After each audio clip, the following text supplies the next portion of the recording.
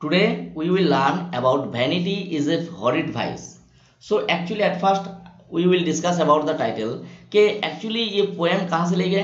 This is this is actually story ठीक है?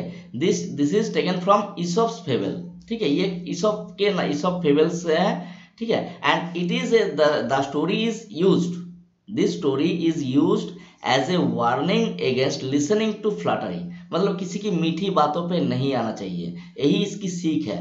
तो एक एक कहानी में थोड़ा in short I am going to describe the story क्या होता है ना once a crow has found a piece of cheese and retire to a branch to it it का एक जमाने में क्या होता है, एक क्रो को एक पीस ऑफ़ चीज़ मिलते हैं और वो उसको लेके एक ब्रांच पे ऊपर जाता है उसको खाने के लिए। उसके मुँह पे वो चीज़ है अभी। ए फॉक्स क्या करते हैं? ए फॉक्स वॉच्ड इट एक फॉक्स उसको देखते हैं and decided to get it anyhow और डिसाइड करते हैं इस चीज़ को मुझे लेना है, ठीक है? तो वो फॉक्स क्या करते हैं? The fox wanting it for himself flatters the crow so the fox started flattering to the crow ठीक है? और flatters the crow calling it beautiful and wondering wondering voice ठीक है? कि the crow has wondering wonderful voice तो in this way the jackal start flattering ठीक है, उसको बहुत मीठी मीठी बातें बोलते हैं, तुम्हारे, तुम बहुत सुंदर हो, तुम्हारी वॉइस बहुत सुंदर है। तो अगर तुम थोड़ी गाना सुना देते, ठीक है इफ़ यू कैन सिंग अगर तुम गाना गा पाते तो जब क्या होता है ना, कौवा जो है द क्रो टोटली टोटली मतलब ओवरवेल्ड बाय दिस फ्लटरीज पूरी तरह से वो बहुत खुश हो जाता है। Is too much happy the crow was too much happy by listening these words ये जो मीठी मीठी बातें सुन के बहुत खुश हो जाता है। और इन ऑर्डर टू सिंग और गाना गाना के लिए the crow just open his mouth and जैसे ही वो अपनी माउथ ओपन करता है when it lets out of caw the cheese क्या होता है ना? द चीज़ फॉल ठीक है? वो चीज़ जैसे ही वो अपना मुँह को खोलते हैं, वैसे वो चीज़ मुँह से गिर जाते हैं। And divide by the fox और फॉक्स क्या करते हैं? उस चीज़ को खा लेते हैं। ठीक है this is the actual story now will proceed to this poem mister Raven was perched upon a limb mister Raven here mister Raven you know it's a one kind of crow ठीक है, थोड़ा big big in size थोड़ा बड़ा होता है. So mister Raven was perched upon a limb was means the perched means perched means sitting on a branch or at the end of seat मतलब actually here the mister Raven was sitting upon a branch और limb means branch here part means sitting ठीक है? You can take it sitting at the end मतलब एकदम किनारे पे बैठे हुए हैं। और किसके ऊपर ना? Upon limb limb means branch मतलब एक पेड़ के ब्रांच ऑफ़ ए ट्री मतलब एक पेड़ के डाली पे मिस्टर रेवेन वॉज़ सिटिंग ठीक है?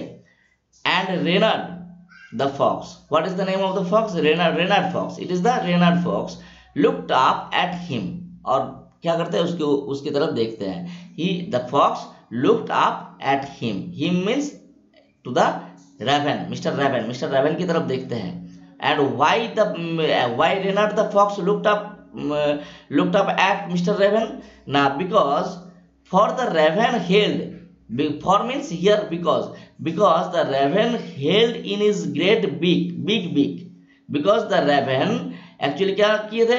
Raven had a morsel a morsel का मतलब क्या है? ना a big piece of food और ए पीस ऑफ़ फ़ूड ठीक है? एक पीस ऑफ़ फ़ूड था। द फॉक्स वुड गो मतलब यहाँ पे बाद में पढ़ते हैं a morsel because the raven held in is great big big a morsel क्योंकि the fox looked at him क्योंकि वो रेवेन जो था रेवेन अपने चोंच पे ग्रेट बिग पे क्या किए थे? ना ही टू एक्चुअली हेल्ड ए मॉर्सल एक मॉर्सल को पकड़े हुए थे। Morsel means a piece of food एक पीस ऑफ़ फ़ूड उसके था। ओरिजिनल स्टोरी में क्या था? चीज़ तो here a piece of food उसके मुँह पे था। तो that's why the fox looked at him and the यहाँ पे मैं थोड़ा जोड़ दे रहा हूँ। And the fox would go far to seek and the fox और ये जो फॉक्स है the fox would go far go far means fox could do anything और वो फॉक्स जो है, वो कुछ भी कर सकता है. टू सीक मतलब in order to get it in order to get the morsel उस मोर्सल को पाने के लिए the fox would go far मतलब the fox could do anything in order to get the seek means get ठीक है? In order to get the morsel ठीक है do you understand that so here मतलब और एक there is also another word you can say seek means procure और you at the, at the in a simple meaning to get now comes to the next next stanza said the fox means now the fox start fluttering अब fox जो fluttering शुरू कर दिया है said the fox मतलब the fox said to the crow in admiring tones in a tone मतलब in the tone that is admiring मतलब to praise which the tone which is used to praise someone. एक ऐसी आवाज़ जो दूसरों की तारीफ़ करने में इस्तेमाल करते हैं लोग। ठीक है मतलब स्वीट टोन में, एकदम मीठी सी बोली में। My word here my word मतलब आई वॉन्ट टू से ठीक है? अगर माई लॉर्ड बोलता तो दूसरा मीनिंग हो जाता। My word means according to my word मतलब इफ़ आई एक्चुअली थिंक मुझे जो लगते हैं, ठीक है? इन माई वर्ड अगर मैं अपनी बात बोलूँ, sir Raven you are a handsome bird mister sir Raven you are a handsome bird मतलब you are looking too much handsome ठीक है? योर ब्यूटी मतलब here at first the fox started flattering by his beauty ठीक है? उस crow के beauty के ऊपर कमेंट कर रहे हैं। And you know every one is every one um, everyone will be always everyone will always be happy when they hear that someone is uh, calling them handsome attractive all these things. Matlab flattering voice in a flattering voice. But sir Raven, you are a handsome bird. Matlab your uh, physical appearance you are looking so beautiful. Theek hai? Such feathers such feathers means oh what a feathers you have. It is an exclamatory sentence तो you should add it कि वो, what a feathers you have. अरे वाह, क्या मतलब तुम्हारे जो शरीर के ऊपर के जो पंख है, ठीक है? जो फेदर्स है the feathers are too much beautiful बहुत सुंदर फेदर्स है। If you would only sing मतलब each and everything you what you have are very beautiful but only if you can sing मतलब मान के चलो यहाँ पे if you can sing like nightingale bird night nightingale तो तो क्या होता?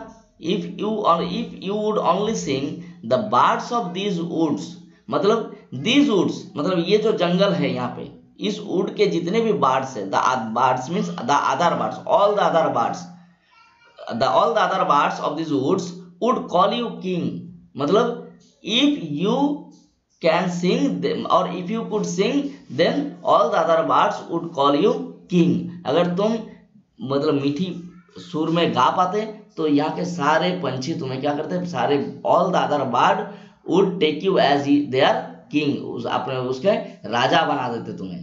मतलब ओनली ही जस्ट से और the fox admire at first admires about the beauty of the jack beauty of the crow then he said the crow the crow had beautiful feathers and etcetera मतलब outward appearance के ऊपर comment करते हैं। फिर क्या कहते हैं कि suppose if you could see मुझे अगर तुम सिर्फ़ गाना गा पाते तो सारे पंछी तुम्हें राजा मान लेते।